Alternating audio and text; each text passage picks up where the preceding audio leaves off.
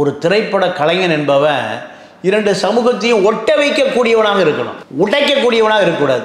ஆனால் மாரி செல்வராஜ் என்ன பண்ணுறாரு இந்த படத்தை தன்னுடைய சுய லாபத்துக்கு தன்னுடைய வக்கரமான எண்ணத்துக்கு தீனி போடுவதற்காக உதயநிதியை பயன்படுத்தி கொண்டிருக்கிறார். உதயநிதியினுடைய சினிமா ஃபீல்டு அவுட்டு ஆமா இப்போ இப்போ நடக்கிற மாதிரி காட்டினா தான் தப்பு. ஐம்பது வருடங்களுக்கு முன்னாடி நடந்த ஒரு கதை அப்படி ஒரு காட்டும்போது அப்ப தப்பு கிடையாது இல்லையா? அது இல்ல. நடந்த விஷயத்தை தானே அவங்க சொல்ல வராங்க. இல்லை ஐம்பது வருடங்களுக்கு முன்பு நடந்த ஒரு கசப்பான அனுபவத்தை ஒரு அமைச்சர் சொல்கிறாருன்னா அதுக்கு என்ன எப்படி எடுத்துக்கிறது? டேய் பார்க்க என்ன நினைப்பான் எங்களை ஐம்பது வருஷத்துக்கு எங்களை ஒடுக்கி வச்சிருந்தீங்களா? ஊருக்குள்ள போகக்கூடாதா? வேட்டி கட்டக்கூடாதா? செருப்பு போடக்கூடாதா?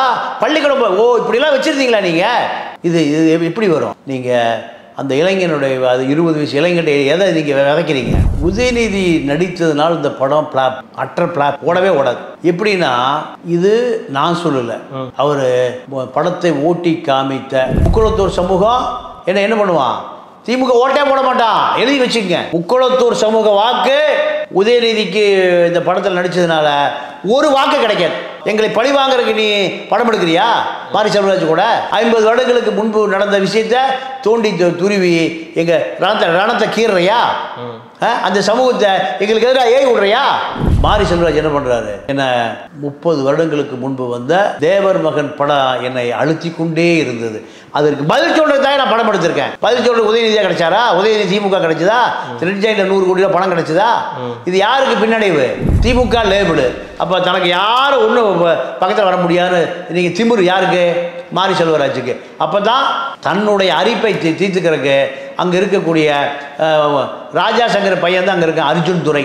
நூறு கோடி கேட்டால் கொடுத்துருவான். இரநூறு கோடி இரநூறு கோடி கேட்டால் கெடுத்துருவான். ஏன்னா செந்தில் பாலாஜி திருடி முப்பதாயிரம் கோடி கொடுத்துருக்கான். அதனால் இவங்களுக்கு நட்டமானா என்ன? படம் ஓடுனா என்ன? ஓடாட்டி என்ன? நாசமாக போனா என்ன? இறந்து போயிட்டான். நீங்கள் கொல்லப்பட்டார். கொலை செய்யப்பட்டார். அதில் குற்றவாளி. அது படம் எடுக்கலாமா?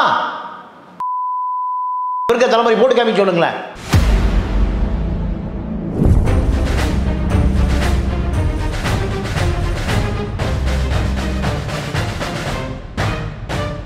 பெட்ரோலுக்ஸ் நேயர்களுக்கு வணக்கம்.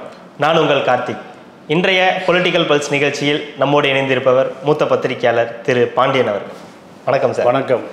சார் நம்ம பல்வேறு அரசியல் நிகழ்வுகள்லாம் பேசியிருக்கோம். பல விவாதங்கள் நம்ம நடத்தியிருக்கோம். இந்த விவாதம் கொஞ்சம் புதிதானது. இதுவும் அரசியல் களத்தை நோக்கி தான் இருக்குது ஒரு அரசியல் புள்ளி இதுலேயும் இருக்கார். என்னன்னு பார்த்தீங்கன்னா மாமன்னன் திரைப்படம் வெளிவரப் போகுது அதை பற்றின சர்ச்சைகள் அதை குறித்த சர்ச்சைகள் நிறைய இருக்குது குறிப்பாக சொல்லணும்னா முன்னர் வெளிவந்த தேவர் மகன் படத்தோட இந்த படம் வந்து கிட்டத்தட்ட ஒரு இருபது ஆண்டுகளுக்கு மேல் இருந்த தேவர் மகன் படத்தோடு இப்போ இந்த படம் வந்து பேசப்படுது. அதுக்கு காரணம் வந்து அந்த படத்தின் இயக்குனர் மாரி செல்வராஜ் வந்து பேசும்போது தேவர் மகன் படம் பார்த்து வந்து எனக்கு வந்து ஒரு கோபம் ஒரு மனப்பிறழ்வு ஏகப்பட்ட அண்ட் நெகட்டிவ் பாசிட்டிவ் இதெல்லாமே எனக்கு இருக்குது அப்படின்னு சொல்லி ஒரு கடிதம்லாம் கூட எழுதியிருக்காரு. கோபமான ஒரு கடிதங்கள்லாம் எழுதியிருக்காரு. இதில் சர்ச்சைக்குரிய ஒரு விஷயம் என்னென்னு பார்த்தீங்கன்னா அது கமல் முன்னிலையிலேயே அவர் வந்து அந்த விஷயங்கள்லாம் பேசியிருக்காரு. இந்த எதற்காக இந்த ஒரு கோபம்? அவர் இருபது வருடங்களுக்கு முன்னாடி வந்த ஒரு படத்தில் உள்ள ஒரு படத்தை வைத்து இப்போ உள்ள ஒரு படத்துக்கு வந்த சர்ச்சை எதனால்? மாரி செல்வராஜ் குறிப்பாக தேவர் மகன் படம் மேலே ஒரு கோபம் வர்றதுக்கான காரணம் என்ன? உள்ள ஒரு இயக்குனர் என்பவர் ஒரு மக்களினுடைய அடையாளம். ஒரு இயக்குனர் என்பவர் மக்களுடைய கலாச்சாரங்களை பிரதிபலிப்பவர். இதுதான். சத்யஜித்ரன்னு நீங்கள் பெங்காலியில் ஒரு டைரக்டர் அவர் எமர்ஜென்சி காலத்தில் எமர்ஜென்சி எதிர்த்து படம் எடுக்கக்கூடாது என்பது இந்திரா காந்தியினுடைய உத்தரவு. அவர் இந்த நாட்டை விட்டே வெளியேறினார். இந்த நாட்டை விட்ட வெளியேறுகிறேன் என்று சத்யஜித்ரே சொன்ன பொழுது அவரை உலகத்தில் இருக்கக்கூடிய பல நாடுகள் அவரை கல்கட்டா ஏர்போர்ட்டில் எங்கள் விமானத்தில் வந்து ஏறி எங்கள் நாட்டுக்கு வந்துறியான்னா உலகத்தில் நூற்றி தொண்ணூற்றி ஐந்து நாடுகள் இருக்கு. இதில் நூறு நாடுகள். நீ கல்கட்டா ஏர்போர்ட்டுக்கு மட்டும் வந்துறியா எங்கள் விமானம் அங்கே நிற்கிது எங்கே? கல்கத்தா விமான நிலையத்தில். எங்கள் நாட்டுக்கு வந்து படம் அடியா? அப்போது உலகமே போற்றப்படுகிறவன் தான் யார்? கலைஞன். அவனுக்கு ஜாதி மதம் மொழி கலை கலாச்சாரம். ஆங்கில படம் வந்து நம்ம ரசித்து பார்க்குறோமா இல்லையா? தெலுங்கு படம் பாகுபலி டைரக்டர் எடுத்த படத்தை ரசி- ரசித்து பார்க்குறோமா இல்லையா? அதனால் கலைக்கு மொழிகள் இல்லை. கலைக்கு ஜாதிகள் இல்லை. இதுதான் திரைப்படத்தினுடைய அளவுகோல். ஆனால் மாரி செல்வராஜ் என்ன பண்றாரு? நீ உதயநிதியை ஒரு சமூகத்தினுடைய அடையாளமாக மாற்றுகிறார். உதயநிதியை தாழ்த்தப்பட்ட சமூகம் ஒடுக்கப்படுகிற சமூகம் ஒடுக்கப்பட்ட சமூகம்.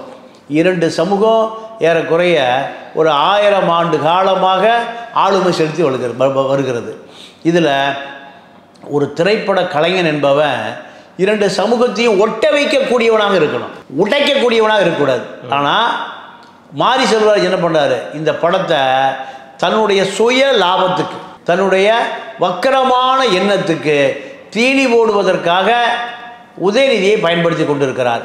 உதயநிதியினுடைய சினிமா ஃபீல்டு அவுட்டு அரசியல் வாழ்க்கை அவுட்டு இந்த படம் வெளியாச்சுன்னா நான் நேரடியாக சொல்கிறேன் என்ன காரணம் கேட்டிங்கன்னா அப்போது ஒரு ஒரு தா தாழ்த்தப்பட்ட சமூகத்துக்கு பிரதிநிதியாக தன்னை காட்டிக்கொண்டு பிற்படுத்தப்படுத்தப்பட்ட சமூகம் எப்போ ஒரு நூறு வருஷம் முந்தி இரநூறு வருஷம் முந்தி காயப்படுத்தியிருக்கலாம். அதை நாம் மறுக்கலை. இரண்டு சமூகம் மோதிக்கொண்டே இருக்கிறது. முதுகுளத்தூர் கலவரம் என்ன? இப்போ வட தமிழ்நாட்டில் தலித்துக்களும் வண்டியில் மோதிட்டே இருக்காங்க. ஒன்றாக இருந்த ராமதாசும் திருமாவளவனும் நீங்கள் இப்போ எப்படி இருக்காங்க? இரண்டு சமூகங்களுமே மோதிட்டு இருக்கு. இதை ஒட்டமைப்பதற்காக படம் எடுக்கணுமா? இதை பிரிப்பதற்காக படம் எடுக்கணுமா? மாரி செல்வராஜ் சொல்கிறாரு எனக்கு ஆயிரத்தி தொள்ளாயிரத்தி தொண்ணூற்றி ரெண்டில் முப்பது வருஷத்துக்கு முந்தி வந்த படம் என்னை மிகப்பெரிய பாதிப்புக்கு உள்ளாக்கி இருக்கிறது. எங்கள் சேரி காலனி பக்கம் நீங்கள் முக்குளத்தூருடைய தேவர தேவருடைய பு- புகழை பாடுகிற அந்த பாட்டை எங்க சேரி பக்கம் திருப்பி வச்சிருப்பாங்க. தேவர் காலடி மண்ணே போற்றி பாடடி பொண்ணு. இந்த பாட்டு எங்க குழாயை திருப்பி எங்க ஊர் பக்கம் வச்சிருவான். அப்போ எங்களை சிறுமைப்படுத்துச்சு. எங்களை வேதனைப்படுத்தியது அந்த பாட்டு. இதுதான் எனக்கு தீராத ரணமாக என்னுடைய நெஞ்சிலே முள்ளாக இருந்தது. அதை நான் தீ தீர்த்துட்டாங்கிறாரு. என்ன தீர்த்துட்டேன்னா அதாவது ப- பண்ணையார்கள் பஞ்சாயத்தார்கள் ஜமீன்தார்கள் இது எல்லாமே முக்குளத்தூர் சமூகத்தை சார்ந்தவர்கள் தான் தமிழ்நாட்டினுடைய தென்பகுதியில் மிகப்பெரிய ஆளுமையாக இருக்கிறார்கள். அவர்களுக்கு ஒடுக்கப்பட்ட மக்கள் அடிமையாக இருக்க வேண்டிய காலம் எப்போ இருந்தது? ஒரு நூறு வருடங்களுக்கு முன்பு இருந்தது. நூறு வருடங்களுக்கு முன்பு இது யதார்த்த நிலை. அதில் ம மறுக்கலை. அந்த மக்கள் அடக்கப்பட்டார்கள் ஒடுக்கப்பட்டார்கள். இன்றைக்கி அந்த தேவேந்திரகுல வேளாண் மக்களை ஒடுக்க அடக்க முடியுமா? பசுபதி பாண்டிய வந்திருக்கார். அந்த சமூகத்தினுடைய தலைவராக ஜான் பாண்டிய வந்திருக்கார். கிருஷ்ணசாமி வந்திருக்காரு. அன்னைக்கு இமானுவல் சேகரன் கொல்லப்பட்டார் கொலை செய்யப்பட்டார். உண்மைதான். ஆனால் இன்னைக்கு அதெல்லாம் சாத்தியமா? அப்போ இரண்டு சமூகங்கள் மோதிக்கொண்டு சிறு முதுகுத்தூர் முதுகுத்தூர் சமூகம் முதுகுளத்தூரில் இரண்டு சமூகம் மோதி கொண்டது. தந்தை பெரியார் கிளம்பி போகிறார் எங்கேருந்து? நீங்கள் சென்னையிலேருந்து கிளம்பி போகிறார் மதுரை கீழே போன பிறகு ப்ரெஸ்ஸை பார்க்குறாரு பார்த்து சொல்கிறாரு தாழ்த்தப்பட்ட சமூகத்துக்கு ஆதரவா? என்னுடைய கருப்பு சா கருப்பு தட்டை தொண்டை நிற்பாங்கிறார் யாருக்கு ஆதரவா? அப்போ கலவரம் ஓய்கிறது. பெரியாரே கலந்து கொண்டாங்க சண்டை பிடிக்க கொண்டாய அந்த ஆளு? யாருக்கு? ஆதரவா? தாழ்த்தப்பட்டவர்கள் ஆதரவா? அன்றைக்கு அந்த நிலைமை. பெரியார் இருந்தார் காமராஜ் இருந்தார் கக்கன் இருந்தார் ஜீவா இருந்தார். எல்லாம் மனிதகுல மாண்புகள் எல்லாம். ஆனால் இன்னைக்கு அந்த அப்படி நிலைமை இல்லை. அதை மாற்றுவதற்காக அரசு பிசிஆர் ஆக்ட் எஸ்சி ஆக்ட் வன்கொடுமை இப்படி பல சட்டங்களை போட்டு பல முயற்சிகள் செய்துட்டு இருக்கு கடந்த கால கசப்புகளை மறந்து இரண்டு சமூகமும் இரண்டு இளைஞர்களும் ஒன்றாக மாற வேண்டும் என்பதுதான் பல தலைவர்கள் பல ஆண்டு காலமாக போராடி இருக்காங்க மாரி செல்வராஜ் குறிப்பிடும்போது தேவர் மகன் படத்தை குறிப்பிட்டு அஹ், சொல்றாரு. இப்போ கமல் ரசிகர்கள் என்ன சொல்றாங்க? அவர் வந்து வன்மத்தை வந்து கக்கிட்டாரு.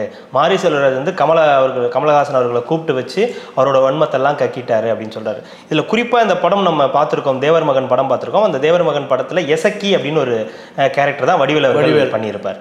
அந்த படத்தோட அந்த எசக்கி கேரக்டர் அந்த எசக்கியை வச்சு தான் இந்த மாமன்னன் படம் வந்து எடுத்திருக்கிறதா சொல்றேன் இங்க ஒரு கேள்வி எழுது என்னன்னா தேவர் மகன் படத்துல கமலஹாசனுக்கு பின்னாடி வடிவேல் வரதான் நம்ம இருக்கும். அதே அதே மாதிரி சின்ன கவுண்டர்னு ஒரு படத்துல வடிவேல் சின்ன கவுண்டர் விஜயகாந்துக்கு பின்னாடி வடிவேல் வருவார்.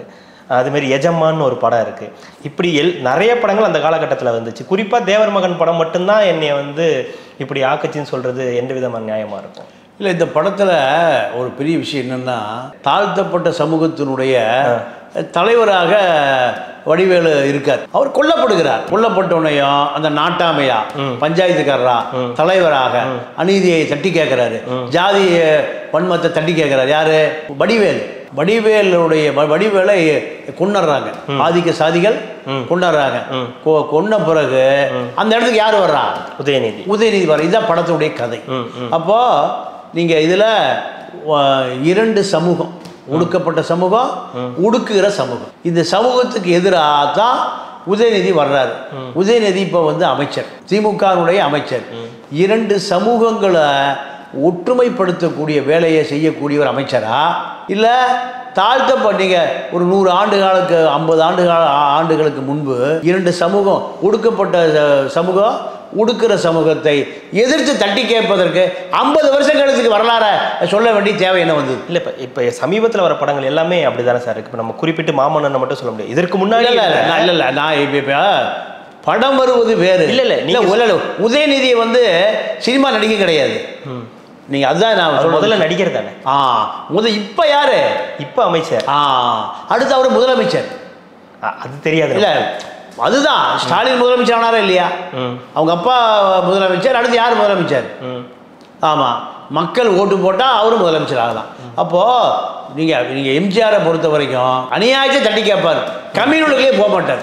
எதுக்குள்ளே போக மாட்டார்? ஜாதிக்குள்ளேயே போக மாட்டார். எல்லா தப்பையும் தட்டி கேட்பார். ஆனால் ஜாதிக்குள்ளே போனதாக வரலாறு இல்லை. ஆனால் உதயநிதியை பொறுத்தவரை மாரி செல்வராஜ் அவர் கூட எங்கே அடைச்சிட்டாரு? தாழ்த்தப்பட்ட மக்களுடைய ரெப்ரஸன்டேட்டிவாக அடைச்சிருக்காரு. அடைச்சு யாரை எதுக்குறாரு ஒடுக்குகிற ஒரு சமூகத்தை எதுக்குறாரு இதுதான் படக்கதை. இவர் விஜய் நடிச்சிருந்தா இல்லை அஜித் நடிச்சிருந்தா இது விமர்சனம் வந்திருக்காது. இது யார் இப்போ? அமைச்சர். நீங்கள் பிரதமர் மோடியை போய் பார்க்குறாரா? நீங்கள் ரயில் விபத்து நடந்தால் ஒரிசா போகிறாரா முலாயம் சிங் யாதவ் இறந்துட்டாரு யூபியில் நீங்கள் அங்கே டிஆர் பாலு அவரும் போகிறார் அப்போது திரைப்பட நடிகனை தாண்டி இவர் ஒரு பெரிய அரசியல்வாதியாக மாறிட்டார் அரசியல்வாதியாக மாறுகிற பொழுது நீங்கள் ஒடுக்கப்பட்ட மக்களை பிரதிநிதியாக தன்னை அடையாளப்படுத்தி கொண்டு தன்னை ஒடுக்குகிற சமூகத்தை எதிர்த்து போராடுவதாக கதையை அமைஞ்சிருக்கு இப்போ அது ஒரு உண்மை கதையா தானே இருக்கும்? இப்ப மாரி செல்வராஜ் உண்மைதான், உண்மைதான், உண்மை. கதையை தான் ஆமா. அப்பனா அப்படி ஒரு கதையில் நடிக்கிறதுல என்ன தப்பு இருக்கு போல கதையில் தப்பே கிடையாது. நான் தவறு த கதையில சொல்லலை. இப்போ ஒரு மா இவர் உதயநிதி அவர்கள் நடிக்கிறதுலயும் என்ன தப்பு இருக்க போகுது? இல்லை உதயநிதியை பொறுத்த வரைக்கும் அந்த ஒடுக்குகிற சமூகம் இருக்குல்ல அந்த ஒடுக்குகிற சமூகம் இப்போ அந்த நிலைமையில இல்லை. அந்த நிலைமையில இல்லை இது எப்போ நடந்த கதை? ஐம்பது வருஷத்துக்கு முந்தி நடந்த கதை. ஆமா இப்போ இப்போ நடக்கிற மாதிரி காட்டினாதான் தப்பு. ஐம்பது வருடங்களுக்கு முன்னாடி நடந்த ஒரு கதையை அப்படி ஒரு காட்டும்போது அப்ப தப்பு கிடையாது இல்லையா? அது இல்ல. அந்த விஷயத்தை தானே அவங்க சொல்ல வராங்க. இல்லை ஐம்பது வருடங்களுக்கு முன்பு நடந்த ஒரு கசப்பான அனுபவத்தை ஒரு அமைச்சர் சொல்கிறாருன்னா அதுக்கு என்ன எப்படி எடுத்துக்கிறது? டேய் பார்க்க என்ன நினைப்பான் எங்களை ஐம்பது வருஷத்துக்கு எங்களை ஒடுக்கி வச்சிருந்தீங்களா? ஊருக்குள்ள போகக்கூடாதா? வேட்டி கட்டக்கூடாதா? செருப்பு போடக்கூடாதா? பள்ளிக்கூடம் ஓ இப்படிலாம் வச்சுருந்தீங்களா நீங்கள் இது இது எப்படி வரும்? நீங்கள் அந்த இளைஞனுடைய அது இருபது வயசு இளைஞர்கிட்ட எதை நீங்கள் விதைக்கிறீங்க? விஷ விதையை நீங்கள் விதைக்கிறீங்க.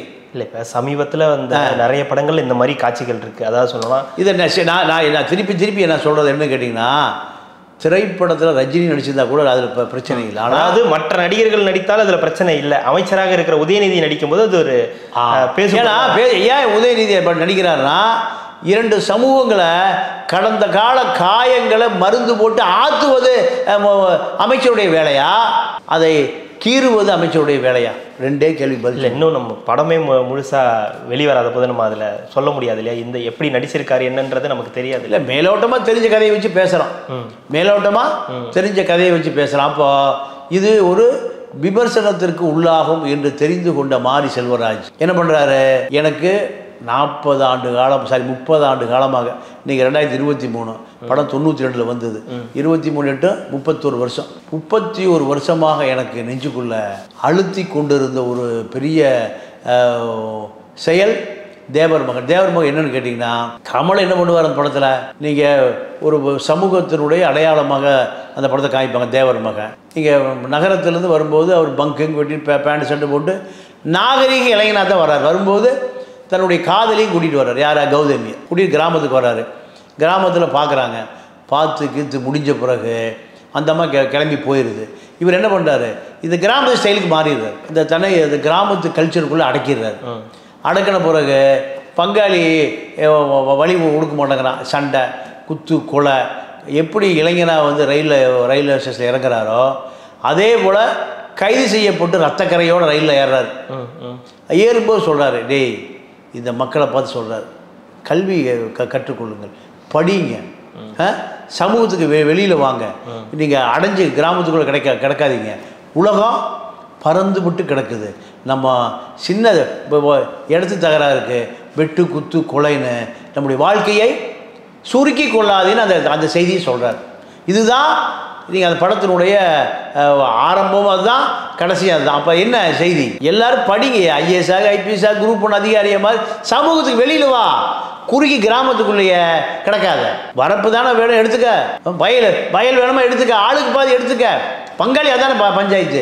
இதுக்கு யாரோ ஒரு விட்டு கொடுத்து விட்டு கொடுத்து போக போகிறான் அடுத்த தலைமுறை வரும்போது இவன் அவனுக்கு கொடுக்க போகிறான் அவன் இவனுக்கு கொடுக்க போகிறான் இந்த செய்தியை தான் அது சொல்லுது. அப்போது இதில் நீங்கள் முப்பத்தி ஒரு வருஷமாக மாரி செல்வராஜுக்கு அழுத்தமாக இருந்தது எதுன்னு கேட்டால் அந்த ஆதிக்க சாதி எங்களை அடக்கி வைத்திருந்தார்கள் என்பது உண்மைதான். நான் அது ம- மறுப்பே சொல்லலை. நூற்றுக்கு நூறு உண்மைதான். நான் இந்த ஈழ போராட்டம் ரொம்ப எழுச்சியில் இருந்த எண்பதுகளில் எண்பது தொண்ணூறுகளில் ஈழ போராட்டத்தில் த தலைவர்கள் வந்து இந்தி தமிழக அரசியலை பார்ப்பான். பார்த்து சொன்னால் தலித் மக்கள் மத்தியில் ஒரு பெரிய புரட்சி வரப்போகுதுன்னா. திருமாவளம் கிடைச்சேன் நீங்கள் அதே போல் ஜான் பாண்டியன் வந்தார். பசுபதி கிருஷ்ணசாமி வந்தாங்களா இல்லையா? இதெல்லாம் எப்போ நடந்தது? முப்பது வருஷத்துக்குள் நடந்தது. முப்பது வருஷத்துக்கு முந்தைய இவர்களுக்கு தலைவரே இல்லை. தலைவர்னா நீங்கள் ரெட்டமலை சீனிவாசன் இருந்தார் அயோத்தியாச பண்டிதன் இருந்தார் பல பல தலைவர்கள் இருந்தாங்க. இருந்தாலுமே இப்படி எழுச்சியாக வரல. நீங்கள் திருப்பி அடி திமுரு அடங்க மறு அத்து மீறு இந்த வசனம்லாம் கிடையாது. அம்பேத்கர் சொன்னார். ஆனால் பெரியார் செய்தார். ஆனாலுமே இந்த தலித் மக்கள் மத்தியில் திருமாவளவன் ஒரு மனிதன் வந்த பிறகு தான் அங்கன் ஒரு அம்பேத்கர் வந்த பிறகு தான் இந்த ப- ப- பறையர்கள் மத்தியில் ஒரு பெரிய எழுச்சி. எங்கேயும் அவன் அவன் அடங்கி போகிறதே இல்லை. எங்கேயும் அடக்க முடியல. எத்தனை வருஷமா? முப்பது வருஷமா. நீ எங்கேயாவது போய் நீங்கள் பறையர்களை அடிமையாடுறா இப்போ செத்த மாட்டை தூக்கிட்டு போ. செத்த விட்டு கொட்டடின்னு சொல்ல முடியுமா? விருப்பம்னா செய்வான். இல்லைன்னா போயான்னு போயிட்டே இருப்பான். அவனை போய் நீங்கள் எதாவது பண்ணீங்கன்னா நேராக பிசிஆர் கேஸ் நீங்கள் ஜெயிலே மூணு மாதம் வெளியே வர முடியாது. இந்த அளவுக்கு அந்த சமூகம் என்ன பல வக்கீல் வந்திருக்காங்க. பல பேர் இன்ஜினியர் வந்திருக்கான். பல பேர் படித்து சமூக துணிக்கு வந்துகிட்டே இருக்கான். இனி நீங்கள் முப்பது நாற்பது வருஷம் முந்தி உள்ள விஷயத்த இப்போ ஞாபகப்படுத்தினா அது பெருமையா சிறுமையா? சிறுமை தான் அதைத்தான் மாரி செல்வராஜ் நீங்கள் உதயநிதியை தவிர யாரை வேணால் போட்டு விமர்சனம் வராது. உதயநிதி இப்போ அமைச்சர் திமுகவுடைய பிரபலம். இப்போ அசுரன் ஒரு படம் இருக்குது அதுலேயும் அது மாதிரி ஒரு காட்சிகள்லாம் இருக்குது அதே மாதிரி சமூகம் சார்ந்து அவங்கவுங்க சமூகம் சார்ந்து படங்கள் நிறைய எடுக்கிறாங்க. இப்போ இந்த காலகட்டத்தில் வந்து பார்த்தீங்கன்னா முத்தையான்னு ஒரு இயக்குனர் இருக்கார். அவங்க சமூகம் சார்ந்த ஒரு படம் தான் எடுப்பார். ஜி மோகன் ஒருத்தர் இருக்கார். அவங்க சமூகம் சார்ந்த படம் எடுப்பார். ரஞ்சித் இருக்கார். அவர் ஒரு சமூகம் சார்ந்த படம் எடுப்பார். மாரி செல்வராஜ் நமக்கு தெரியும். அவங்க சமூகம் சார்ந்த படம் தான் எடுக்கிறாங்க. இதில் யார் நடிச்சிருந்தா என்ன? உதயநிதியாக இருந்தால் என்ன? எந்த நடிகர்கள் நடிச்சு நீங்கள் சொல்கிற மாதிரி அவர் அமைச்சராகவே இருந்தாலுமே கூட அவர் ஒரு நடிகராக தானே அந்த படத்தில் பார்க்கும்போது பார்ப்பாங்க. இதில் இது இதில் நான் இது எப்படி விமர்சனத்துக்கு உள்ளாகுதுன்னா உதயநிதி நடித்ததுனால் இந்த படம் பிளாப் அற்ற பிளாப் ஓடவே ஓடாது. எப்படின்னா இது நான் சொல்லலை. அவர் படத்தை ஓட்டி காமித்த விநியோகஸ்தர்கள் தயாரிப்பாளர்கள் டிஸ்ட்ரிபியூட்டர்ஸு எல்லாம் சொன்ன க ஆனால் கமலஹாசன் பார்த்துட்டு ரொம்ப அருமையாக இருக்குன்னு ரொம்ப ஆமாம் கமலஹாசன் உடனே அந்த படத்தை இரநூறு கோடி ரூபா கொடுத்து வாங்கி தமிழ்நாடு முழுக்க வெளியிட்டுருவாரா? அவர் படத்தையே ரெட் ஜெயின் தான் வாங்கி ரிலீஸ் ஆ, அப்போ இந்த படம் ஓடாதுங்கிறது தான் அவர்களுடைய ஒப்பீனியன் அப்போ இது எப்படி ஓட்ட வைக்கிறது? இதை பப்ளிசிட்டி வேணும். ஒரு கான்ட்ரவர்சியாக பேசி அதை பண்ணியிருக்காருன்னு பண்ணியிருக்காரு. இதனால இது யா நீங்கள் திமுகவுக்கு ஓட்டு போயிடும் திமுகவுக்கு நீங்கள் முக்குளத்தூர் சமூகம் என்ன என்ன பண்ணுவான்? திமுக ஓட்டே போட மாட்டான். எழுதி வச்சுக்கங்க. முக்குளத்தூர் சமூக வாக்கு உதயநிதிக்கு இந்த படத்தில் நடிச்சதுனால ஒரு வாக்கு கிடைக்காது. எங்களை பழி வாங்குறதுக்கு நீ படம் எடுக்கிறியா? மாரி செல்வராஜ் கூட. ஐம்பது வருடங்களுக்கு முன்பு நடந்த விஷயத்த தோண்டி துருவி எங்க ரணத்தை ரணத்தை கீறுறியா? அந்த சமூகத்தை எங்களுக்கு எதிராக ஏய் விடுறியா? வருமா வராதா? இந்த சிந்தனை யாருக்கு வந்திருக்கு? முக்குளத்தோர் இளை முக்குளத்தோர் இளைஞர்களுக்கு வந்திருக்கு. இது வந்துன்னா படமும் ஓடாது ஓட்டு கிடைக்காது. இது இதை சரி செய்வதற்காகத்தான் மாரி செல்வராஜ் என்ன பண்ணுறாரு என்ன முப்பது வருடங்களுக்கு முன்பு வந்த தேவர் மகன் படம் என்னை அழுத்தி கொண்டே இருந்தது. அதற்கு பதில் சொல்றது தான் நான் படம் எடுத்திருக்கேன். பதில் சொல்றது உதயநிதியாக கிடைச்சாரா? உதயநிதி திமுக கிடைச்சதா? திருச்சியில் நூறு கோடி பணம் கிடைச்சதா? இது யாருக்கு பின்னடைவு? மாரி செல்வராஜுக்கு பின்னடைவல்ல அரசியலில் உதயநிதிக்கு மாபெரும் பின்னடைவு. அஹ், இப்போ நீங்க முக்குளத்தூர் இளைஞர் பூரா எப்படி பார்ப்பான்?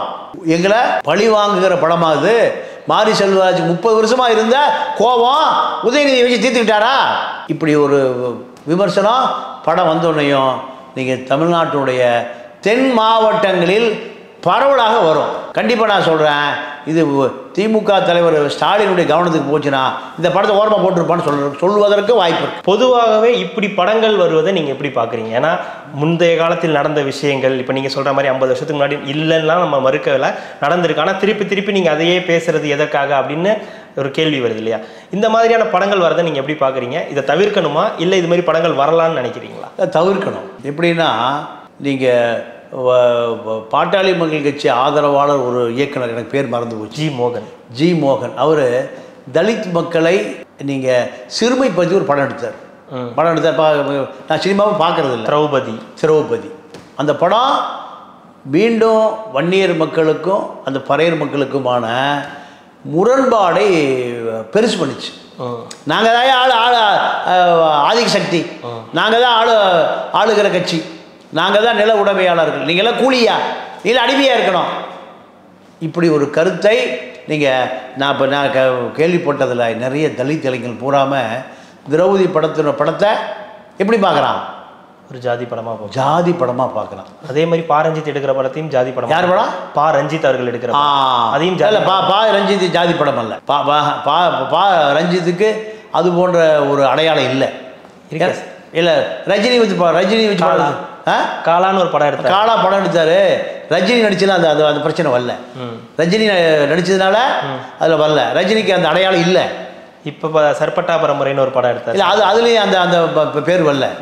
ரஜினிக்கு யதார்த்தத்தை தானே பார்க்கணும் நீங்கள் நீங்கள் ஒரு மண்டைக்குள்ள ஒரு விஷயத்தை ஏற்றிட்டு பார்த்தீங்கன்னா அப்படி தான் தெரியும். நீங்கள் யதார்த்தமாக பார்க்கணும். ரஜினிக்கு அந்த ரஞ்சித்துடைய படம் அப்போ திரௌபதியும் இப்போ யதார்த்தமா பார்க்க வேண்டிய படம் தானே? இல்லை நீங்கள் அதில் ஜாதி ஜாதி வன்மமே அதில் பதிவு பண்ணப்பட்டிருக்கேன் நான் படத்தை பார்க்கல. நீங்கள் சார் நீங்கள் காளா படம் வரும்போது யாரும் அதை விமர்சனம் பண்ணல. ஆனால் திரௌபதி படத்தை பார்த்தெல்லாம் பாமக ராமதாஸ் சொல்லி அந்த டைரக்டர் எங்களை சிறுமைப்படுத்தி எடுத்திருக்காருன்னு எனக்கு தெரிஞ்சு ஐம்பது லட்சம் தலித் இளைஞன் அதை கடுப்பாக பார்க்குறான். யதார்த்தத்தை நான் சொல்கிறேன் நான் மண்டைகள் எதுவும் வச்சு சொல்ல ம் ம். யதார்த்தத்தை நான் சொல்கிறேன் இந்த த தமிழ்நாட்டை பொறுத்த வரைக்கும் எதுவுமே யதார்த்தமாக இல்லை. எல்லாம் ஒரு சாராராக தான் இருக்கான். திமுக அண்ணா திமுக அதிகாரி விஓ பிஓ எல்லாம் ஜாதியாக தான் இருக்கான். எல்லாமே ஜாதியாக தான் இருக்கான். அப்போ ஒரு அதிகாரி போனான்னா நீ என்ன ஜாதின்னு கேட்டு அவன் ஜாதியாக இருந்தால் அவனை காப்பாற்றுறான் வேறு ஜாதியாக இருந்தால் எஃப்ஐஆர் போடுறான். இது சரியா? இது ரொம்ப யதார்த்தமாக யாரும் பார்க்கறதே இல்லை. ஒரு விஷயத்தை மண்டையில் ஏற்றிட்டு தான் சமூகத்தை பார்க்கறது. அப்படி பார்க்கவே கூடாது. சமூகத்தை பெரியாரை போல பாரு. காமராஜர் போல போகிற அம்பேத்கரை போல பாரு கக்கனை போல பார் ஜீவா பப்பு. அப்போ தான் சமூகத்தை தெரியுமே தவிர நீ ஒரு ஜாதியாக இருந்தீங்கன்னா உங்களுக்கு உனக்கு யதார்த்தம் தெரியாது. நீ ஒரு அரசியல் கட்சியாக இருந்தீங்கன்னா யதார்த்தம் தெரியாது. ஒரு சமூகமாக இருந்தேன்னு தெரியாது. அதெல்லாம் தாண்டி பார்க்கக்கூடிய பார்வை இருந்தால் தான் தெரியும். ரஜினியை பொறுத்த வரைக்கும் ஜாதி அடையாளத்துக்குள்ள எத்தனை படம் எடுத்தாலும் நீங்கள் மாரி செல்வராஜ் ரஜினி வச்சு படம் எடுத்தால் அது பா- பேசப்படாது. ஆனால் இந்த படம் வந்து யார் நடிக்கிறா? திமுகவில் கரண்ட் அமைச்சர். கரண்ட் அமைச்சர் யார்? முதலமைச்சருடைய புள்ள. திமுக லேபிள். அப்போ தனக்கு யாரும் ஒன்றும் பக்கத்தில் வர முடியாதுன்னு இன்றைக்கி திமுர் யாருக்கு? மாரி செல்வராஜுக்கு. அப்போ தான் தன்னுடைய அரிப்பை தீ தீர்த்துக்கிறதுக்கு அங்கே இருக்கக்கூடிய ராஜா சங்கர் பையன் தான் அங்கே இருக்கேன் அர்ஜுன் துரை. நூறு கோடி கேட்டால் கொடுத்துருவான். இரநூறு கோடி இரநூறு கோடி கேட்டால் கெடுத்துருவான் ஏன்னா செந்தில் பாலாஜி திருடி முப்பதாயிரம் கோடி கொடுத்துருக்கான். அதனால் இவங்களுக்கு நட்டமானா என்ன? படம் ஓடுனா என்ன? ஓடாட்டி என்ன? நாசமாக போனால் என்ன? அதை பற்றி பிரச்சனை இல்லை. அப்போது மாரி செல்வராஜ் ஒரு பெரிய இயக்குனர். மாரி செல்வராஜனுடைய அரிப்பை தீர்த்து கொள்வதற்காக எடுக்கப்பட்ட படம். ஆனால் இந்த படம் என்பது இரண்டு சமூகங்களை மீண்டும் மீண்டும் மீண்டும் என்ன பண்ணும் பிளவுபடுத்துமே தவிர ஒட்ட வைக்காது. இப்போது ஐம்பது ஆண்டு காலமாக நீங்கள் எல்லாம் மறந்து மறந்து மறந்து இந்த இளைஞர் பூரா அடுத்த இளைஞர் பூரா ஜாதியே தெரியாமல் மதமே தெரியாமல் என்ன பண்ணுறான் தமிழ் ஜாதியை ஒன்று கூடணும்னு ஒரு பெரிய சமூகம் மட்டும் நடந்துகிட்ருக்கு இதில் மாரி செல்வராஜ் ஐம்பது வருஷம் முந்தி முதுகுளத்தூர் கலவரத்தில் இங்கே தாழ்த்தப்பட்டவனும் இப்போ முக்குளத்தூரும் நூறு ரூபாய் செத்து போயிட்டான். அதை படம் எடுக்கலாமா? அதை படம் எடுக்கலாமா? சொல்லுங்கள் இறந்து போயிட்டான். நீங்கள் கொல்லப்பட்டார். கொலை செய்யப்பட்டார். அதில் குற்றவாளி. அது படம் எடுக்கலாமா? இருக்க தலைமுறை போட்டு காமி சொல்லுங்களேன். அதான் படம். அது படம் அல்ல. எம்ஜிஆர் எத்தனை படம் எடுத்தார்? ஏதாவது ஒரு என- வன்மத்தில் விதைச்சிருக்காரா? ஆக இவர்களெல்லாம் புறக்கணிக்கப்பட வேண்டும். இவர்களெல்லாம் புறக்கணிக்கப்பட வேண்டிய ஆட்கள் தான் மாறி செல்வராஜ் நான் அந்த சமூகம் உண்மையாகவே அ- அடக்கப்பட்ட ஒடுக்கப்பட்ட சமூகம். இன்னும் அந்த சமூகம் போராடிட்டு இருக்கு. பட்டியல் வெளியேற்றதுக்காக போராடிட்டு இருக்கு. அது ஒரு படம் எடு. ஆனால் நீ இன்னொரு சமூக தமிழ்ச்சாதி ஒற்றுமைப்படுத்த வேண்டிய தேவை இருக்குது தமிழ்ச்சாதிகளை ஒட்ட வைக்க வேண்டிய தேவை இருக்குது நீங்கள் கருணாநிதி ஆட்சி காலத்தில் ஒவ்வொரு தலைவருக்கும் ஒரு பஸ் இருந்தது. பஸ்ஸு மா ஒவ்வொரு மாவட்டத்துக்கு ஒரு பஸ். நீங்கள் காகித மில்லத்து மாவட்டம்னு இருந்தது. அதன் பின்னாடி நீங்கள் ஒவ்வொரு தலைவர் க காமராஜ் டிரான்ஸ்போர்ட்டு இப்படி ஒவ்வொரு தலைவனுக்கு டிரான்ஸ்போர்ட் இருந்தது. இவன் அவன் அவன் கொளுத்துறான் இவன் கொளுத்துறான் யாரை கொளுத்துறான்? பஸ்ஸை கொளுத்துறான். அது பின்னாடி தான் டோட்டல் அரசு போக்குவரத்து கிளம்ப மாறிச்சு. அப்போ இதே போல தான் படம் எடுக்கிறவன் கலையை சொல்லுகிறவன் இலக்கியத்தை சொல்லுகிறவன் பண்பாட்டை சொல்கிறவன் என்ன என்ன பண்ணணும்னு கேட்டிங்கன்னா முறிந்த உறவுகளை. இப்போ நம்ம இப்போ நீங்கள் நான் நீங்கள் நானும் அண்ணன் தம்பி ரெண்டும் சண்டை போட்டோம். நம்ம பிள்ளை வந்து என்ன பண்ணுவான்? நம்மளை சேர்த்து வைப்பான். கடந்த காலத்தில் நடந்த கசப்பான அனுபவங்களை தள் தள்ளிட்டு சித்தப்பா வா பெரியப்பா வா ஓ, உட்காரு சாப்பிடு ஒன்னாயிரு கல்யாண கச்சேரி. இதுதான் உறவா? ஏய் எங்கள் அப்பாவை அன்னைக்கு நீ அடிச்சிட்ட. பார்த்துக்கிறேன். அப்படின்னு அடுத்த தலைமுறை க கத்தி நான் கம்பை தூக்குறேன் அடுத்த தலைமுறை கத்தி தூக்குறான்னா அது அதான் கலாச்சாரம். அது அல்ல கலாச்சாரம். அதாவது ஜப்பானில் குண்டு போட்டு ஒரு கோடி பேர் செத்து போயிட்டான். ஆனால் ஜப்பான்காரன் இன்றைக்கி அமெரிக்காவை எதிரியாக பார்க்காம ஜப்பான் அமெரிக்கா எப்படி இருக்கான்? கூடி குழவரான் இதுதான் நிகழ்கால அரசியல். இதைத்தான் நீ பதிவு பண்ணுமே தவிர முப்பத்தி ஒரு வருஷமா எனக்கு நெஞ்சுக்குள்ள எனக்கு உறுத்தி கொண்டிருந்ததை இப்ப பழி தீர்த்துட்டாயண்ணா பழி தீர்க்கிறதா இயக்கனுடைய வேலை? அந்த மக்களை பழி தீர்க்க சொல்லுவதா இயக்க இயக்கனுடைய வேலை? அதுக்கு நீங்க ஒரு அமைச்சரை பய பயன்படுத்தி கொண்டா அமைச்சர் க- கதையும் காலி. இந்த படம் வெளியே வந்து நல்லா கேட்டுங்க. திமுகவுக்கு தென் மாவட்ட இளைஞர்கள் முக்குழுந்து இளைஞர் ஓட்டே போட மாட்டான் திமுக ஊற்றி மூட போகுது. இது அவருக்கு அவன் தெரியல. தீராத விளையாட்டு பிள்ளை. நீங்கள் கன்சியா வீட்டில் உட்காந்துட்டு விளையாண்டுட்டு இருக்கிறாரு. நான் நயன்தாரா வீட்டில் உட்காந்து அரசியல் பேசிகிட்டு இருக்கார். உதய உதயநிதிக்கு அரசியலே தெரியல. ஆனால் அரசியல் தெரியாத உதயநிதியை நம்ம ராஜா சங்கர் பையன் அர்ஜுன் துறை ஒரு நூறு கோடி இரநூறு கோடி கொடுத்து படம் எடுத்து யாருடைய அறிவை தீர்த்துட்டான்? மாரி செல்வராஜுடைய அறிப்பை தீர்த்து கொண்டா. அதனால் இந்த படத்துக்கு ஒரு விளம்பரம் வேணும் என்பதற்காக முப்பத்தோரு வருஷ கதையை சேர்த்துக்கிட்டார். இது மிகப்பெரிய அயோக்கியத்தனம் சமூகத்தை ஒற்றுமைப்படுத்த வேண்டிய முக்குளத்தூர் சமூகமும் தேவேந்திர சமூகமும் ஒன்றுபட்ட ப- பட்டு கொண்டு இருக்குது ஒருத்தர் ஒருத்தர் நட்பாக இருக்கான் சகோதரனாக இருக்கான். இதை முறித்து வைப்பது மாரி செல்வராஜுடைய படம்னா அந்த படம் தமிழ்நாட்டுக்கு தேவையே மிக்க நன்றி சார். இவ்வளோ நேரம் உங்களுடைய நேரத்தை ஒதுக்கி எங்களுக்காகவும் ரெட்ரோலுக்ஸ் நேயர்களுக்காகவும் பல்வேறு விஷயங்களை பகிர்ந்தமைக்கு ரெட்ரோலுக்ஸின் சார்பாக மிக்க நன்றி. நன்றி வணக்கம்.